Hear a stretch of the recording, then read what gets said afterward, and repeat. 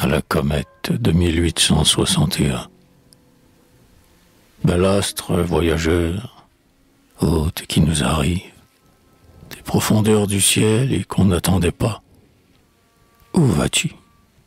Quel dessin pousse vers nous tes pas?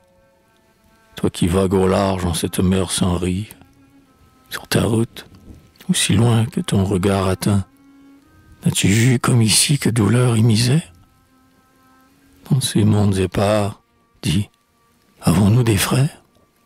T'ont-ils chargés pour nous de leur salut lointain?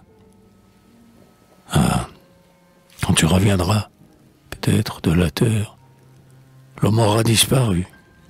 Du fond de ce séjour, si son œil ne doit pas contempler ton retour, si ce globe épuisé s'est éteint solitaire, dans l'espace infini poursuivant ton chemin, du moins jette au passage, et rapide, un regard de pitié sur le théâtre vide, de tant de mots soufferts et du labeur humain.